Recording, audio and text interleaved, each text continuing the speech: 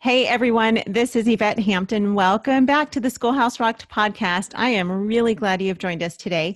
Um, I have a really exciting guest on today, and um, you are going to be so encouraged by him. He is actually, um, uh, well, he and his whole family are good friends of ours. We've known them for well over 20 years, and um, I think you're going to enjoy what he's going to talk about. He's going to talk about being a teacher in the public school system in California and why he homeschools his kids. Um, so his name is Caleb Schroeder, and I'm excited for you to get to know him. So hi, Caleb.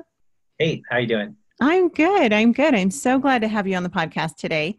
Um, we actually interviewed you for Schoolhouse Rocked, the movie, yep. about a little over two years ago, right? Yeah. Yeah.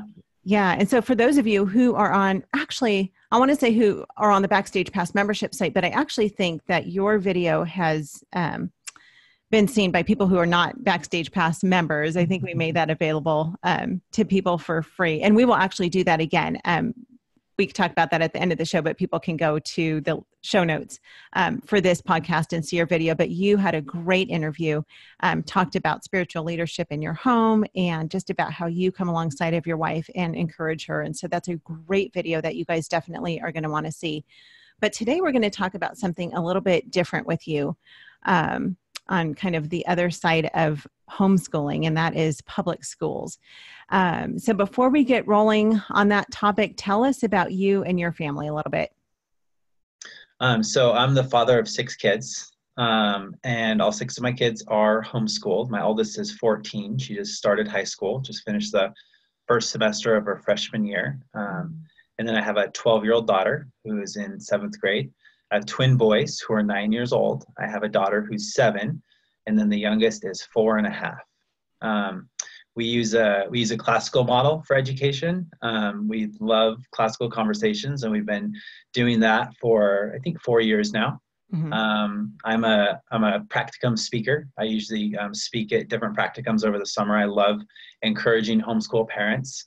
Um, my wife and I are actually both homeschool graduates. We uh, we were homeschooled K through 12, um, in the 80s and 90s when you had to do that with your curtains closed and the phone turned off um, in California.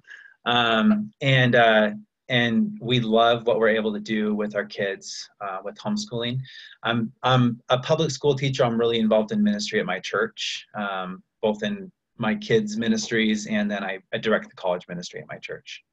Yeah, well, you guys are busy. You're a busy, busy bunch. Um, we love your family dearly. We are good friends with you guys. And um, as a matter of fact, your wife, Leah, and I are really good friends. And her parents, the first time we met, I think Leah was like 12, and her parents were mine and Garritt's pre marriage counselors. Yeah. And that was 24 years ago. That was actually a little over that 24 years ago because um, we are just celebrating our 24th anniversary. So, oh, we, congratulations. Yeah, thank you. only by the grace of God. Um, so, it's been really neat to see your family um, grow. I know I got to be kind of a little part of, of helping with your wedding. And um, so, we've, we've seen your your family grow from the very beginning. And yeah. hi. There's my oldest. I'm yeah. in her room because that's where the internet connectivity is the best. right, right. So for those watching this on video, that's Sophie in the back. um, anyway, I I love um, your story of of having been homeschooled to where God has brought you today. And I was talking to somebody recently, and she said, you know, I I don't see that a lot of homeschool graduates are doing a lot of things and being really successful in life. Now, this is someone who comes um, from who does not come from a background of homeschooling. Mm. And I said, well, you know, the reason that you may not see that quite yet is because that whole first big generation of homeschool graduates are just now really into their adulthood. Um, mm-hmm. You know, mm-hmm. they're in their maybe late 20s to mid 30s um, and really starting to shine as adults. And um, so you're one of those where God has done some amazing things with you. Um, talk a little bit first about what your homeschool journey was like growing up, because I know you were, I don't want to say, I mean, you might say unschooled, but I, I won't say that you were unschooled, but I know you had kind of a loose school structure um, yeah. growing up and then to where you are today and what, what God has done with you. So I don't know if I mentioned this, but my dad um, was a public school teacher for 37 years. He was teaching high school. Um, and that's what sort of motivated him to make the decision to homeschool. Um, it wasn't it wasn't necessarily because he wanted to um, protect us from indoctrination. He just saw the system was broken. Educationally, students were not learning; they were not being taught, um, and so he realized I could do this better on my own. Um, and and he did. Um, I just finished my second master's degree. Most of my siblings have master's degrees. A lot of us are um, very successful working professionals. Um, but because he because his response wasn't to try to maybe pull us out and protect us from the system, it was very educationally focused. Um, he had some radical ideas about how he was going to educate educate us, and um, some some people might describe it as unschooling, but it wasn't because our mathematics was very structured. So mathematics was something that we did every day. We had to we had to put in time. We had to work systematically through. He wrote our curriculum for mathematics. Hmm. For reading, that was very structured. Reading was very structured, um, and he sort of designed it like those are the keys. If you hmm. have your math, you have your reading, you can do anything. Mm-hmm. And so outside of that, it was more um, whatever our passion was. So like um, I remember one year um, when I was in high school, instead of doing U.S. history, I just spent the entire year doing research on George Washington.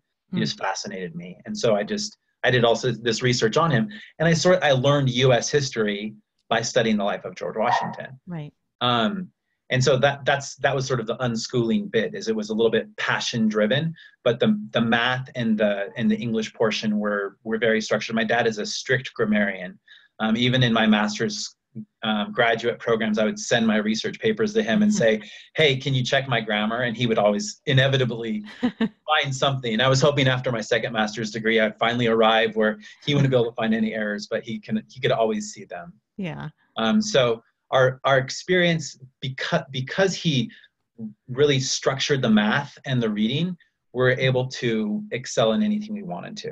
Mm-hmm. And we're also able to keep our passion. So I'm still somebody who's extremely passionate about learning. Mm-hmm. Yeah, you you learned to love learning. Yeah. Um, which is really the purpose of education. Um, yeah. It's not just to put a bunch of facts into our kids' heads so that they forget them after the test and then move on to the next subject. Yeah. It's really to teach our kids how to love learning. Um, exactly. Um, so, so how did he do that with you? What What was the key that you found that caused you to love learning, and how are you doing that with your kids? So I would say the key um, was having enough structure so that we could acquire the tools necessary to be successful. Um, let me let me illustrate it this way. When I was taking a um, I was taking a PE class when I was in college on teaching PE to to students. Um, my my degree was in education, and um, and our professor was explaining to us she's like, this is the most important class you're going to take. And a lot of sort of people laugh that off. Oh, this is a PE class. This is, this is important. This is not important. And she explained that um, people's quality of life is tied towards how active they are. And she said people aren't active if they're not skilled enough to enjoy activity. And so hmm. when you teach a when you teach a child how to throw a ball correctly, when you teach them how to jump correctly, when you teach them how to run correctly, they can they can then enjoy those activities in the same way with education, if your mind is equipped where you understand um, the inner workings of mathematics, so you have um, your, your brain automatically sees the logic in systems, looks for the logic, understands how to put it together, and then and then you can read. Um, you can do anything. So the, the first key was having that structure in place there, but the second key was um, my dad and my mom were were passionate learners themselves. Mm-hmm. So their their passion was was caught by us. They were excited. My dad um, is a biologist, so everywhere we went, he was just pointing out the wonder of what he saw, and it wasn't faked at all. It was just like he was in awe of God's creation. Mm-hmm. Everywhere we go, we'd spend a lot of our summers up at Mount Whitney here in California, and we'd spend a lot of time on the trails and hiking around, and he'd just be showing us all these things as we're as we're hiking, and we'd be looking at the stars at night, and he'd be teaching us. So ev- the the world was our classroom mm-hmm. um, and and because of that um, ev- everywhere i go i want to learn i was i was going on a run this morning um, with this lady who was um, I, there's a, a local running store and they do like a run there every single saturday morning and i was running with this lady who is a um, she has a PhD in nuclear fission. And I was like, wow, this is amazing. She can answer all these questions that I have. And so I was just like grilling her while I was running. Um, and it's not something that's not something that I'm researching, but it's fascinating to me. I want I want to know about it. So everywhere I go, I'm, I'm asking people questions, trying to learn about the world that's around me. So I just have, we're born with an innate curiosity, and the school mm-hmm. system destroys that. Yeah. Um, and I've been able to preserve that. So I have the same curiosity I did as a five year old. I never lost it. Yeah. Yeah. And you're passing that on to your kids now, just like your dad passed that on to you. Yep. Which is awesome. Yeah. Um, I, I want to take a quick break for um, a sponsor ad, but I want to come back because I really want to get into this conversation about public schools and what's happening in the public school system um, as you see it because you are in it. So we're going to break for just a second, then we will be right back.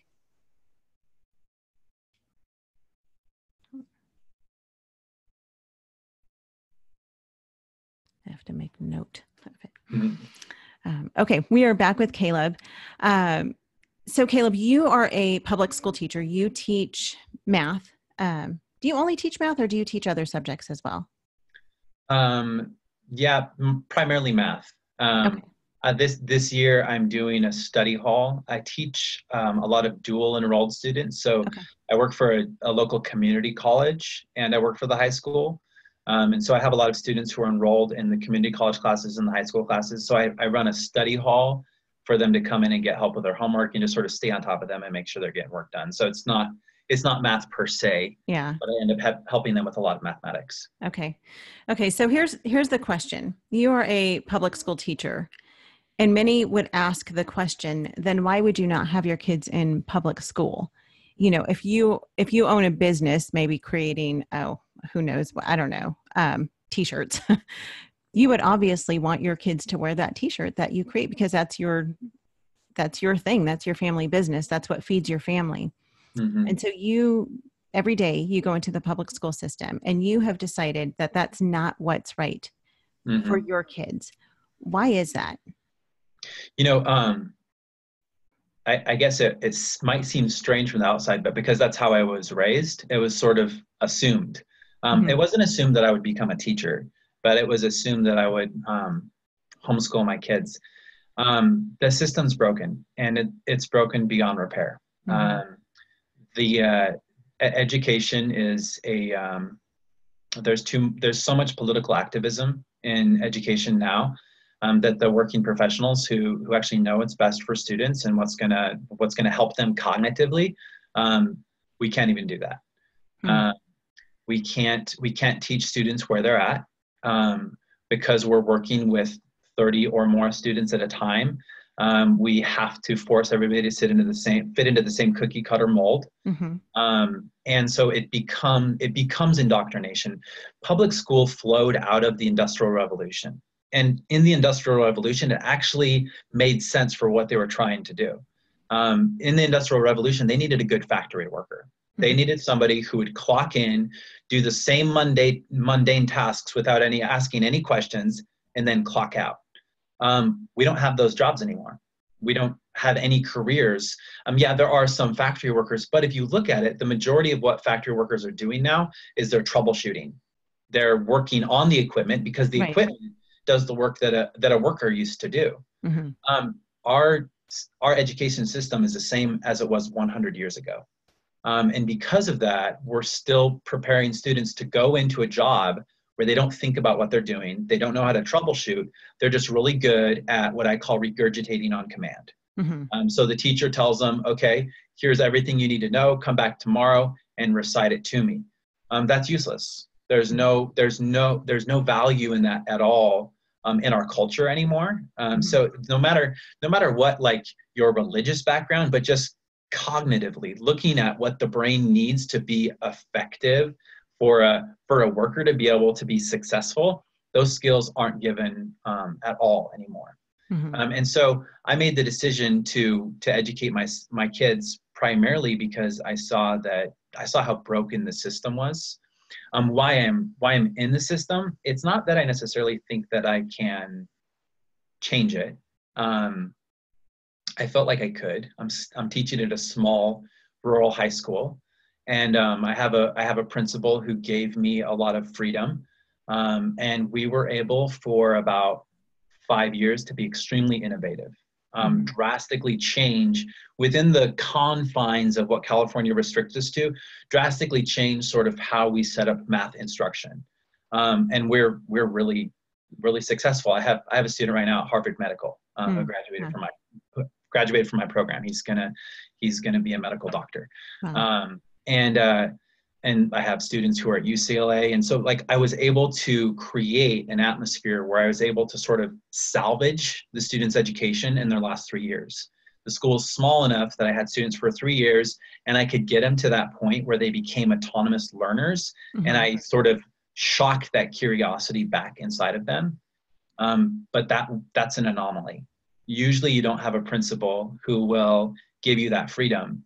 Um, and and that whole system um, was dependent upon the administration i had and that administration just shifted and my new administration will not work with me at all. Hmm. um, and so they're coming in and they're dictating and then they're they're destroying everything i built um, which is sort of that's that's standard fare in california public schools. Sure. Um, education is determined by the politicians a big thing for mathematics every single incoming freshman that i have i'm required to put them in an algebra 1 class. Um, i'll give them a, an entrance test and they can't add a fraction they can't multiply single digits. Um, they never got through if you guys are familiar with the classical um, method they never got through those grammar stages. Mm-hmm. they never mastered that grammar stage. They were never taught to mastery and they need that you can't go on if right. you understand sort of how the brain works you can't go on to that dialectic or, or rhetoric stage until you have the grammar of a subject down but i'm required to put them in an algebra class. Wow. It's like is, building the roof first on a house before you've built the foundation. Exactly. Yeah it'd be like putting a student in their third year spanish class when they haven't had spanish one or two. Yeah. Um, and so and that's just because the government requires us to do that. And it's because algebra is a social justice issue instead of being a math issue it's a social justice issue. And there, there are social justice components. There are for sure you know there's pockets of racism where people will put students in a class just to hold them down. Mm-hmm. but as a rule that's really not happening in california and it really shouldn't be how you determine what class students are put in. Um, so really the reason that i'm there is um, i i never felt called to be a school teacher. I felt called to be a missionary.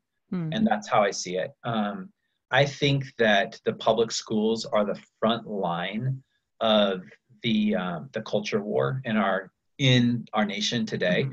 Um, yeah. So if you want to be making a difference, the biggest difference that you can make is to be right there in the thick of it. Um, mm-hmm. So California public schools, I'm like on the front line, and so yeah. and and how I shine my light in that is not by going out and um, and lecturing my students about their immoral lifestyles I love kids.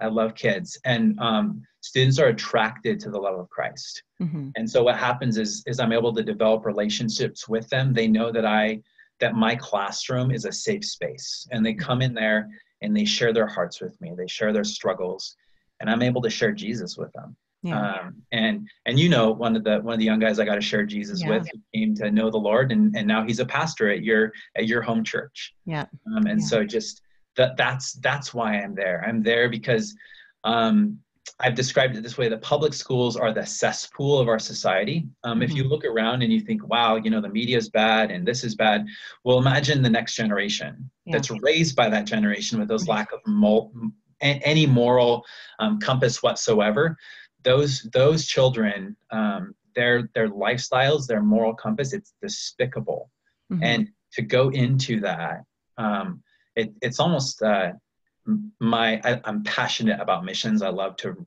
to read missionary stories and that's that's sort of how i've always envisioned it. And i'm sort of an anthropologist. I'm studying how these students work how their minds work. How do i communicate to them? How do i get mm-hmm. through to them?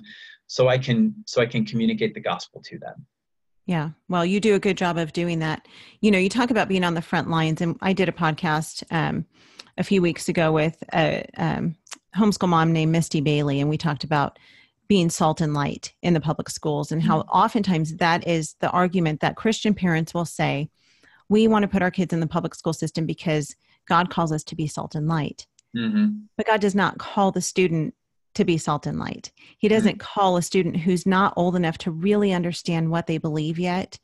I mean, sure, they might believe in Jesus. Hopefully they do, but they're not really quite solid enough in their foundation as a child to be able to go out and stand against the forces of evil that are taking place in the public school system. Yeah. And so so how, how do you answer that i mean if a parent says to you well you know I, I don't want to homeschool my kids because i think god has called us to be salt and light and so i want to put my kid in the public school system so that they can be the salt and light what would you say to that parent um, I would ask them what they're doing to have such amazing kids who can go out there and be doing what I'm doing. That's exhausting me. That's really, really difficult. Um, but at the same at the same time, um, I, I do know Christian parents in my in my school who are very involved. You know, they're mm-hmm. they're on campus, and that's what I would say is okay. I know that some some parents can't homeschool their kids. Just their life their life situation doesn't allow them to do that for whatever mm-hmm. reason. Um, my my wife and I we just we make it happen. California's mm-hmm. pretty expensive to live here, so living yeah. on low income, I got to work a couple jobs, but God is good. He provides for us. And so I know I've, I've talked to people sometimes where they feel like that's a necessity. And I say, well, you need to understand with that, that the responsibility for discipleship still lands squarely on your shoulders. Mm-hmm. Um, and one of the problems is um, when you when you start entrusting your education, the education of your children to somebody else, you can begin to think, um, well, maybe because I'm not educating them, I don't need to be as active in what's happening in their mind. And part of discipleship, it's, it's for sure spiritual, but you're also discipling your children's minds. Mm-hmm. And you need to be learning how they're thinking. Um, and if you can do that um, as a non homeschool parent, parent, like more power to you.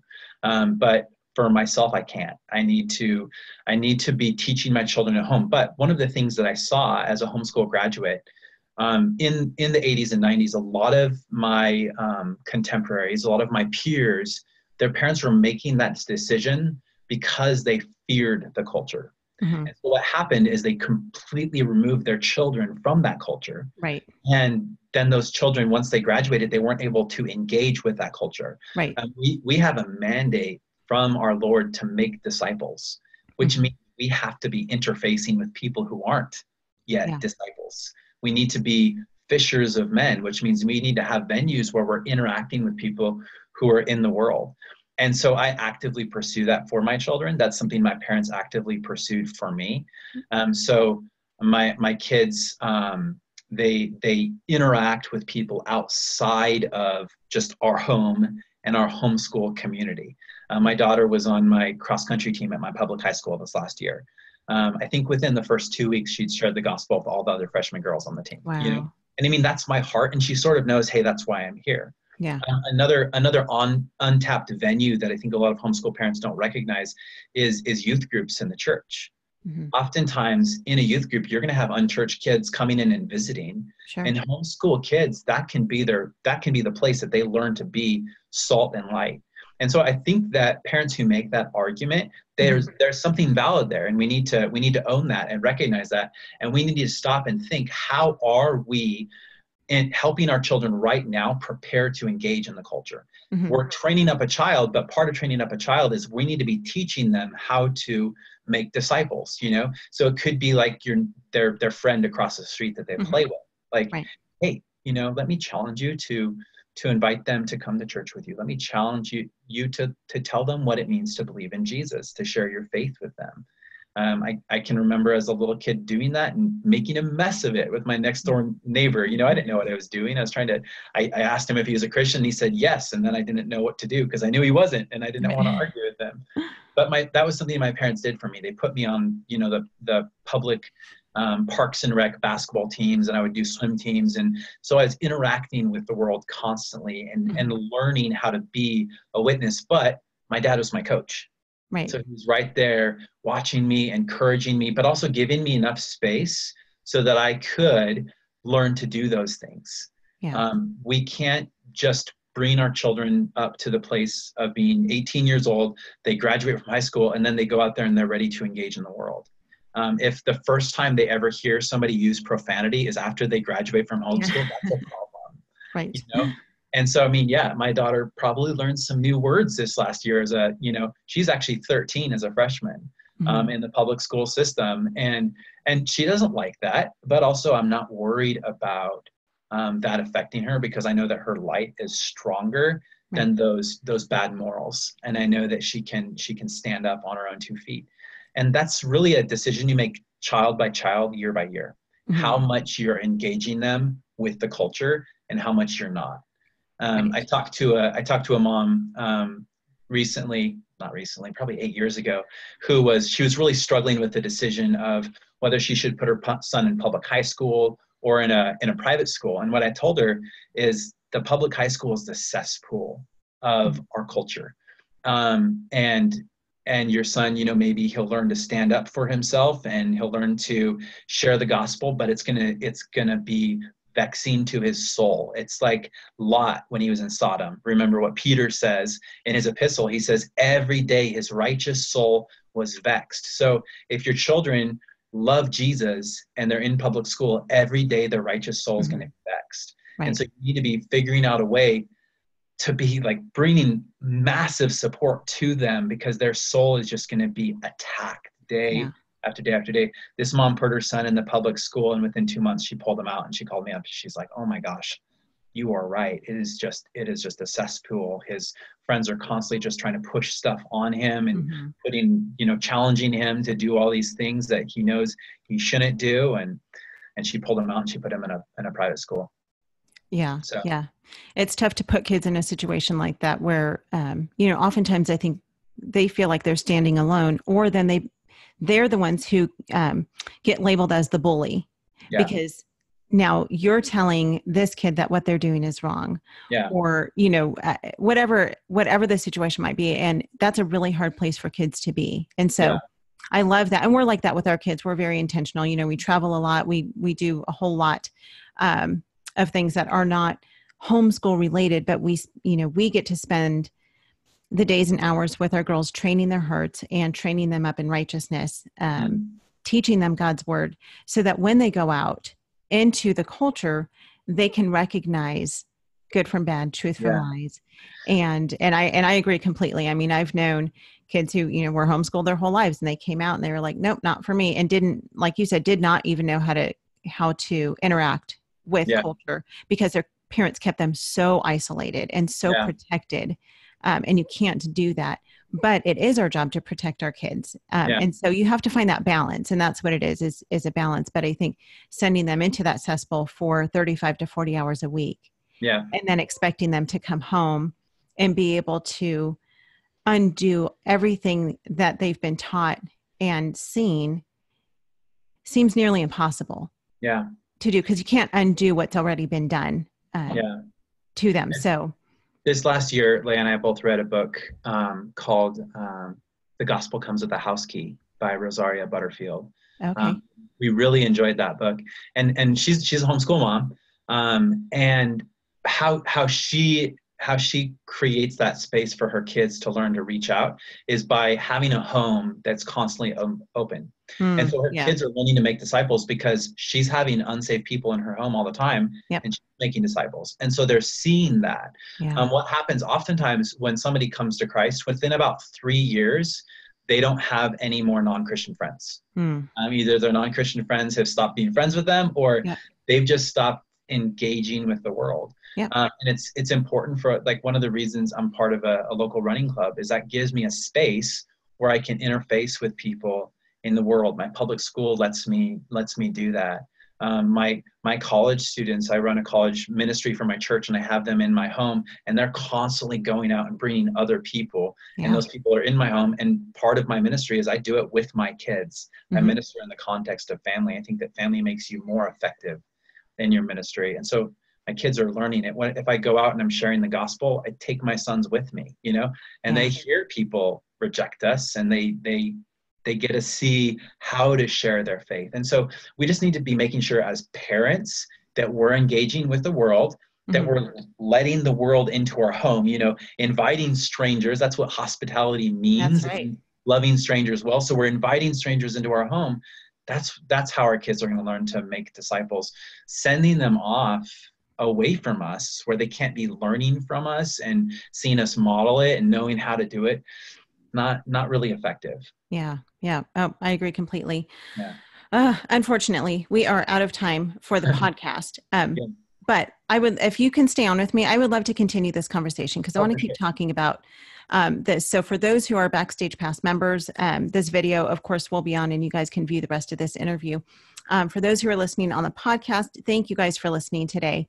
Um, we are so grateful for you. We're grateful for the encouragement that you continue to bring to us. Um, continue praying for us. God is doing some big things with um, Schoolhouse Rocked and with the podcast and with our family. So we would love your continued prayers as we move forward in post production with the movie and um, just continue doing what God has called us to do. So thank you guys for your encouragement. Thank you for listening. And please, please share this with your friends. It's always um, exciting to hear when someone says, Oh, I had a friend who told me about this podcast. And I got to talk to a dad the other day. Um, and the mom actually said, Oh, my husband, Ryan, always listens to the podcast. And he's always the one telling me, You got to listen to this one. You got to listen to this one. And I was like, That is awesome. I, I love that dads are listening as well. So hi to the dads listening. And hello, Ryan. I'm glad you're listening. Um, but thank you guys for being with us today. And um, we will have a new podcast for you next Monday. And for those of you on the Backstage Pass membership site, um, stick with us and we're going to continue this conversation with Caleb. So, Caleb, thank you for being on the podcast with me today. Oh, for sure. Thank you for having me. A huge blessing.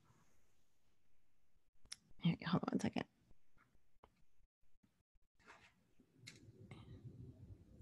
Okay.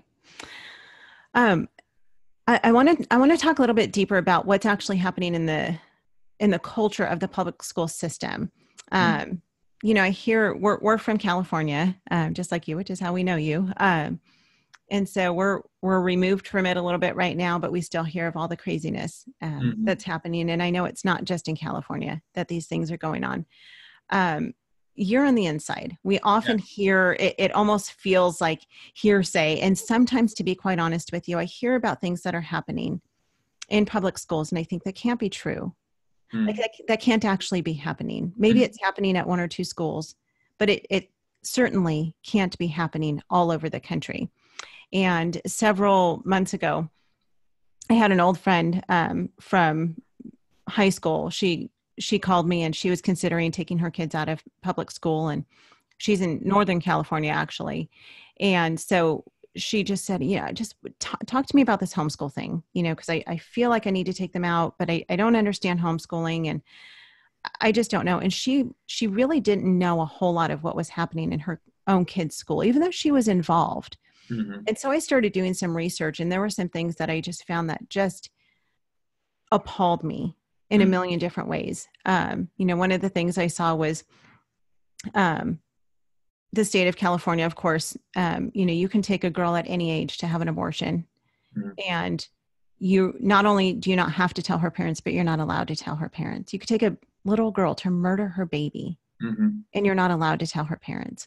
Or, you know, kids can come in and, and they can say, you know, a little boy can come and say, yeah, I think I'm going to be a girl today. And mm-hmm. they have to honor that and they can't tell his parents. And right. they've completely removed parental authority from everything that they're doing with these kids and they have become the authority. And mm-hmm. i hear these things and i read them and i know that they're true and then i think but certainly that can't be. Yeah. Like uh, so how what is the culture looking like as a as a public school teacher? What are you faced with day in and day out? And then how have you seen that change over the years? Because you've been teaching in the public school system for quite some time. I mean, years, yeah. Yeah, so for a long time. Yeah. So you've seen, I'm imagining, quite a shift from when you mm-hmm. first started teaching to what is happening now. Yeah. Um, so, so talk to us about it. What's going on? So, um, I really don't think I would have survived as long as I have um, if I was in um, like LA Unified School District. Um, I am in uh, Kern County, and Kern County is the wild west of California. That's how we like to describe it. um, so, in the community that I teach in, um, our biggest claim to fame is we have the Willow Springs Racetrack, um, which is one of the original um, paved serpentine racetracks, or I don't, I don't know exactly what it is, but it's popular. So that employs a lot of people in our community. I don't know if you know NASCAR folk, but they're mm-hmm. usually pretty conservative. Um, the next big employer in our community is the Air Force Base. Right. Um, and usually Air Force personnel are more conservative. So all those laws have gone into effect. So, you know, if a boy decides he's a girl, he needs to be allowed to use the girl's restroom, locker room. That's the law that we have mm-hmm. to observe. Um, and we have had a couple kids in our in our school who've decided they want to play that game um, and so it's sort of up to the school for how they're gonna how they're gonna deal with it um, because i'm in a conservative community um, they've they've dealt with it very cautiously um, so we have all of our restrooms locked and we let one kid in the restroom at a time Mm. Um, there has to be a security guard at every restroom, um, and and that's a problem, you know. But mm-hmm. that's that's how we deal with it, you know. Um, they have to in the health classes the the thing having to teach the children. They're required to teach the children about all of the different genders now, mm. and all the different ways that those genders can have sex. Mm. So the sex ed piece of of health has gotten very very crazy. Um, I mentioned that my daughter is in my public school. Um, and so she's she's independent study, but she still has to do you know the state approved curriculum. And so this last semester, her t- teacher came to me and she was like, "Hey, um, I can do the health course, the full health course, or I could do the health course without the sex ed piece. You can elect to not have sex ed for her health." And I was like, "Yes, please." you know. And so like in a conservative community, the way we interpret it, we can sort of say, "Oh, we didn't get to that." I'm mm-hmm. sorry. We didn't get to that part of the curriculum. I'm sorry. You know what I'm saying? Mm-hmm. Um, so there's there's ways around it. My dad taught for 37 years. He taught intelligent design in the public high school, mm-hmm. right? Mm-hmm. Um, his students actually would actually sort of get confused sometimes. They'd be like, "Wait a second, Mr. Schroeder, are you are you saying that you believe intelligent design? Or are you saying that you believe in evolution?" Because he wouldn't tell them what he believed in, mm-hmm. but he would present both sides of the argument and then the kids would sometimes be like wait what side are you arguing for we don't understand so eventually one of his students made him two hats and one of them says intelligent design and one of them says evolution so he'd put the hats on when he was arguing from the different views so the kids would sort of like be able to keep track of what's going on mm. so in my conservative community we've sort of been protected from that but what you'll notice um, in california right now over 10% of students have left the traditional public school um, and they're going to charter schools that don't have to stick to the same crazy curriculum rules that some of the public schools have to stick to. Um, they can have a little more freedom for how they do things. Um, they're going to private schools and they're homeschooling. Um, there's a lot of, of charter homeschools in California now where kids are being taught independent study, study through charter schools and they have a lot of freedom. So there's there's a mass, mass exodus. So mm-hmm. every year um, they're they're losing thousands of students from the public school system because parents in California are fed up with it. Mm-hmm. Um, what's what's interesting is during the Obama era, I don't know if a lot of conservative people realize this. Obama actually was a big proponent of the charter schools. Mm-hmm. But like these public schools are failing our kids. They need a little bit of competition. A little bit of competition never hurt anybody, which isn't usually what you hear from a liberal, right? Um, and so he started um, sort of supporting those systems. And it was sort of one of the first times that in California, our union didn't have a lot of support from the Democrats. Well, now it's shifted. Um, and so I don't know if you follow, followed the recent teacher strike in LA. A lot of that had to do with the massive amount of students that they've lost to charter schools. Mm-hmm. the public schools are losing funding. And the decision they made after that strike was a huge sort of um, below to the charter schools, the homeschool parents. Um, they're going to start making it harder for parents in California to homeschool. Um, how is been, that?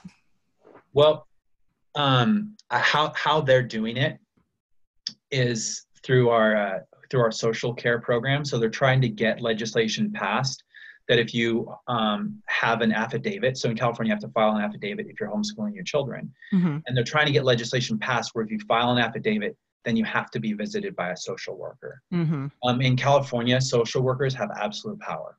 Um, yeah. So if a social worker comes in and uh, decides you're a bad parent, they can tell any lie they want to the judge. Mm-hmm. You have no recompense whatsoever. Yeah. You can't do anything to get your kids back. One of my one of my good friends is going through this right now. Mm. Taking her her son away. They're about to take her other two kids away. They're um, accusing her of abuse, um, and there's no abuse at all.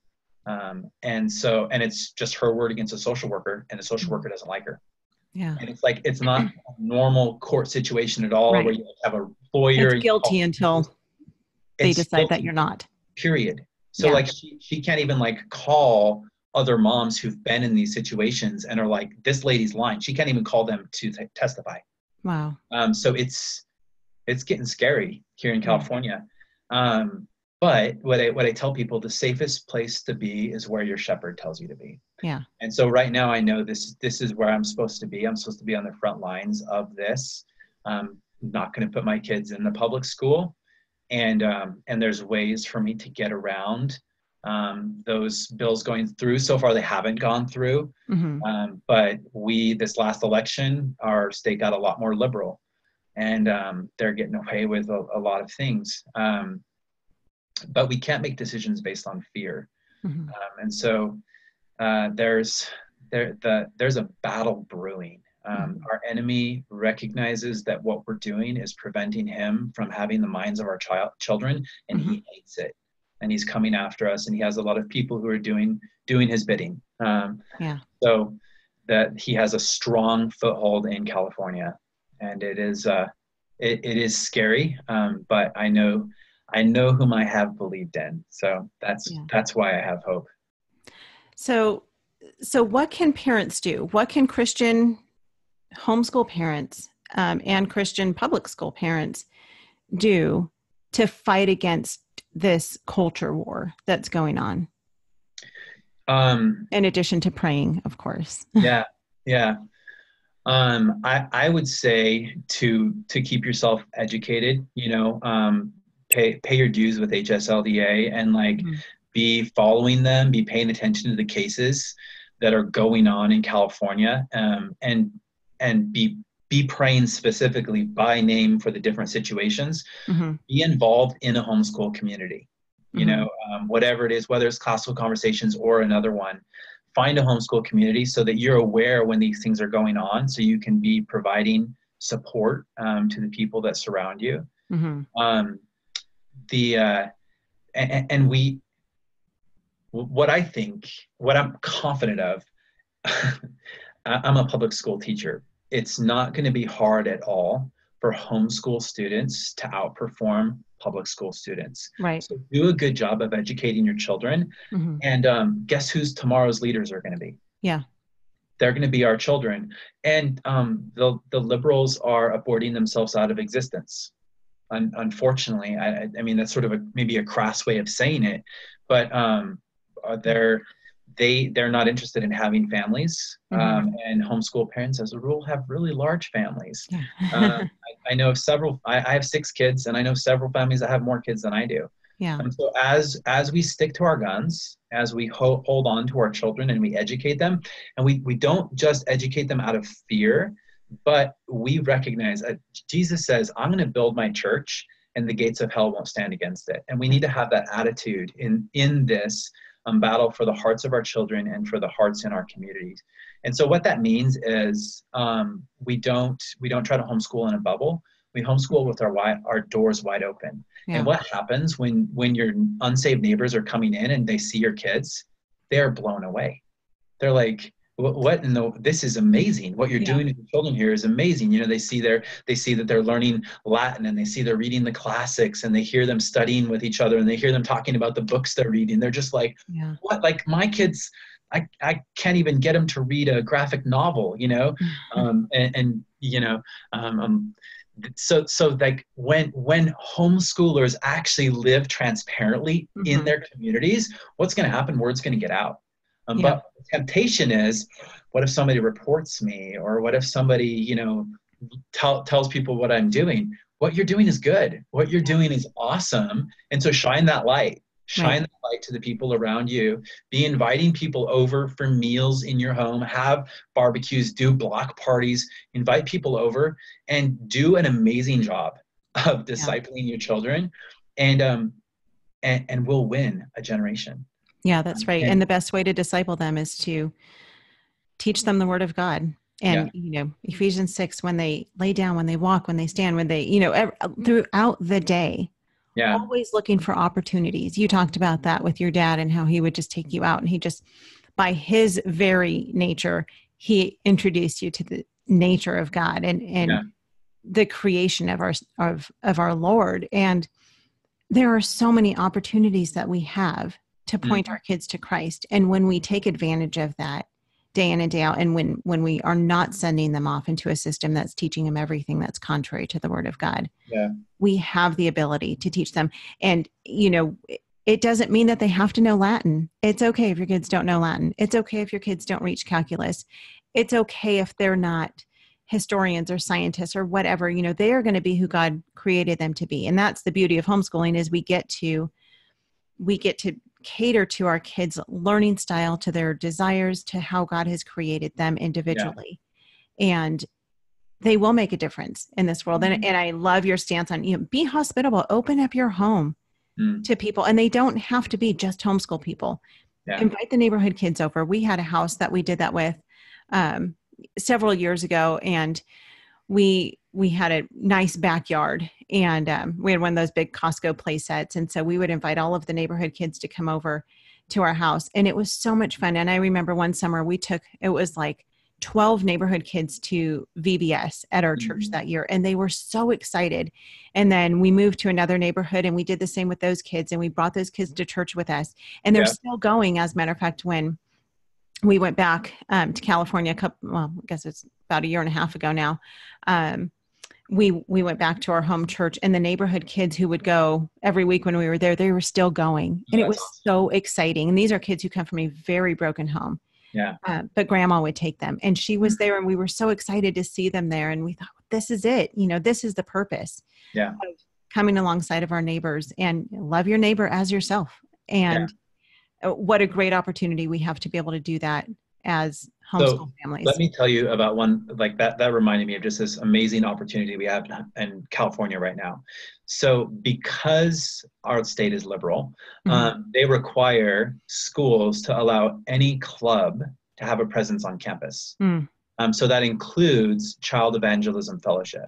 Yeah. Um, in our community in California right now, we can't keep up with the requests from local principals for us to have a good news club on their campus. Wow um, where if we we just need more people who will help staff those and the primary people who are staffing those mm-hmm. are homeschool families yeah you know they're the the teenagers from some of these homeschool families the the good news club is usually at the end of the school day so it's like 2.30 so a lot of you know working mm-hmm. professionals can't do that but the homeschool moms and their kids they can go do that mm-hmm. so um, i don't know if any of your listeners are familiar with their local cef but cef loves homeschool families and you get to bring your kids on the public school campus and be salt and light right there with you. Yeah. And what you're doing, you're sharing missionary stories, you're sharing Bible stories. I don't know mm-hmm. if you're familiar with CEF, but it's it's one of the largest mission organizations in the world.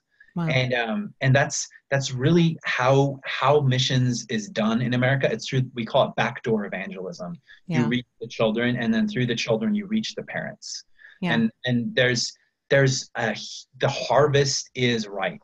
There's the the workers are few, and yes. so there's so many opportunities in California to be on those campuses and to be doing to be doing outreach. You don't have to send your kids to public school to send your kids to public school. Yeah, you have a presence right there and do amazing things with your children um, in your in your local community through CEF. So I'd encourage your listeners to look up their local CEF chapter and try now, to. Now, is that similar to Young Life?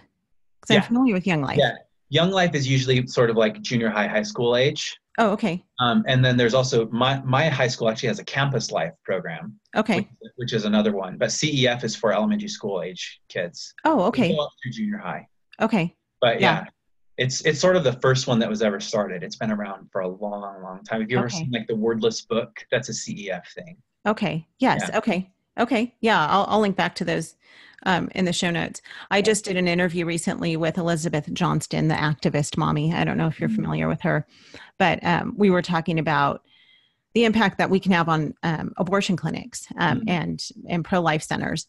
And you know, as homeschoolers, we have such a great advantage because we have we have time. And I know that there are homeschool moms who are rolling their eyes at me, going, "I don't have time. I don't have extra time to do anything because I've got my kids with me all day." Yeah, there's time for ministry mm-hmm. when God calls you to it. Yeah. You know, pray and ask God, what are you calling our family to? Pray with your kids. Get on yeah. your knees. Pray and ask God to show you and your kids what ministry you can be involved in and he will give you the time yeah. to be involved in those ministries because yeah. he does that. He he he wants us to serve in his world and I think as Christians so often we get into our little bubble of church and homeschooling and and we forget that there's another world out there who desperately needs to hear about Christ. Yeah. And you know, I've really I've been thinking a whole lot lately about um, just those who are in in leadership in our country um, who are making all these horrific decisions and taking the lives of innocent children and and telling lies to these kids who are so confused about you know their gender identity and this and that mm.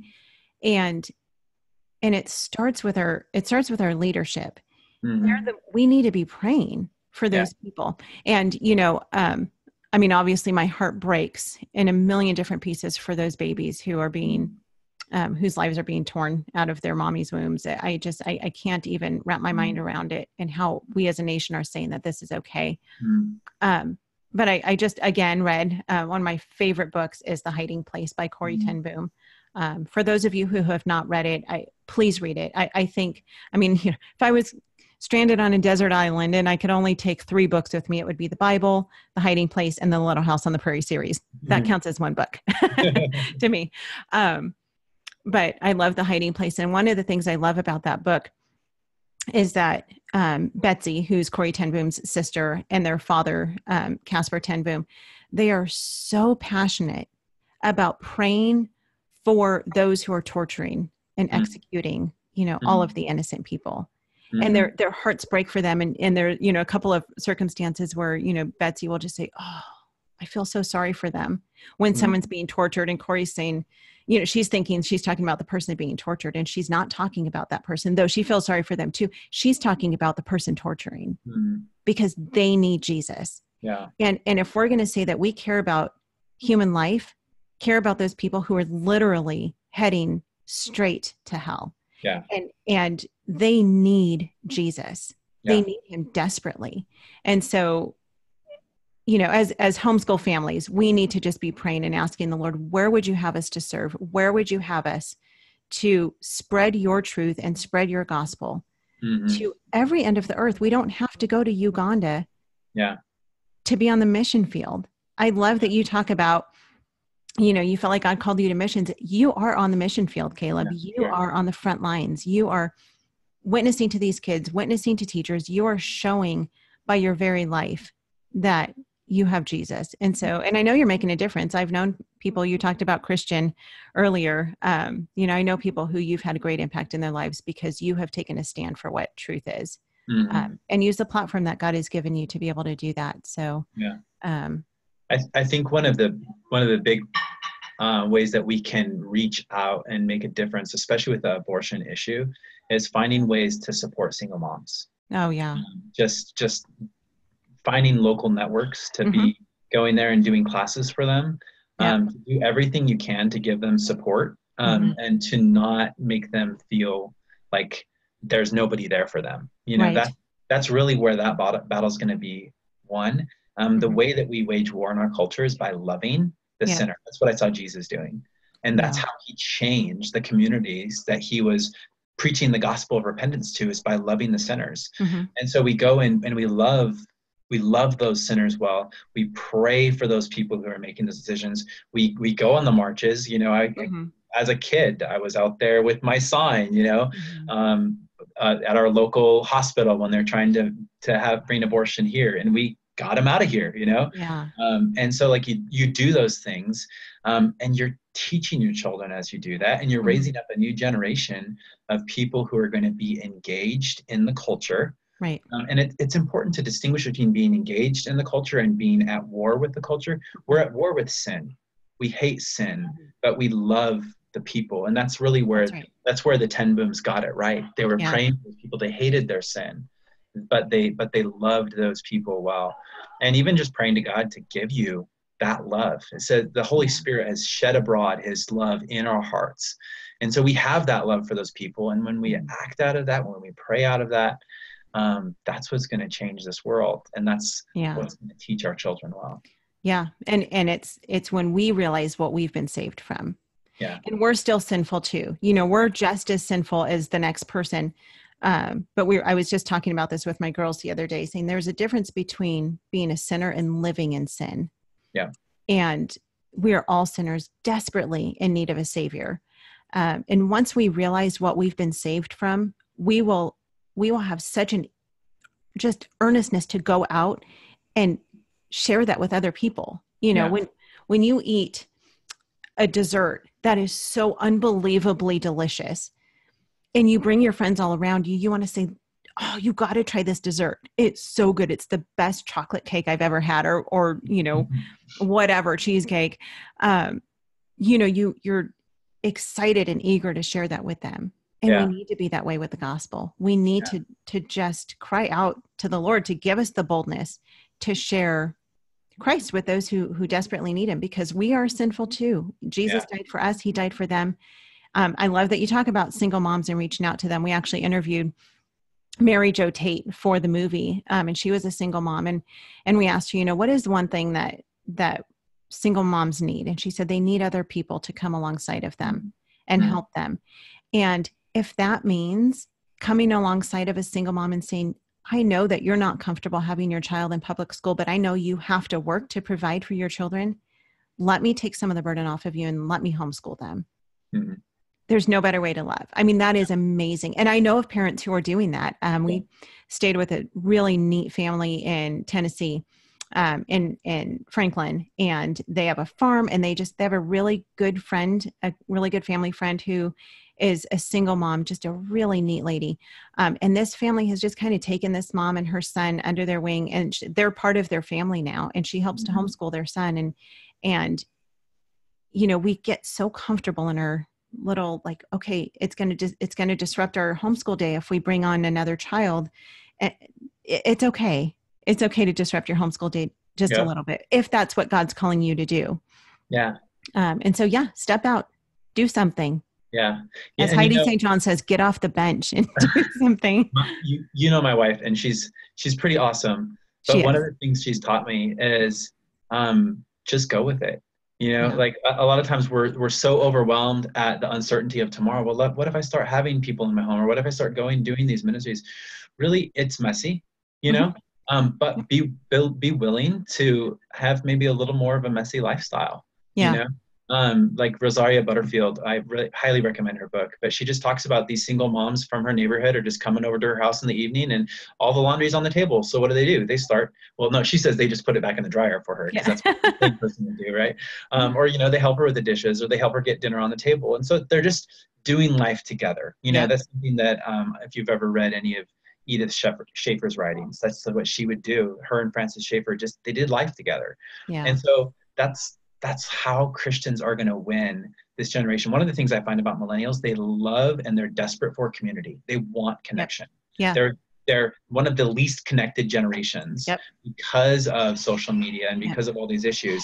But they're desperate for that. And like having them into your home, it mm-hmm. goes so far to communicate the love of Christ. Yeah. And so uh, you can really be effective with doing that. Yeah.